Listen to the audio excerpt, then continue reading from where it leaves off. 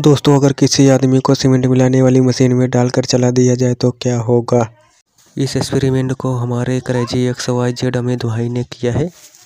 अमित भाई अंदर जा चुके हैं। इंजन को स्टार्ट किया जाता है। आप वीडियो को लाइक और सब्सक्राइब कर दीजिए।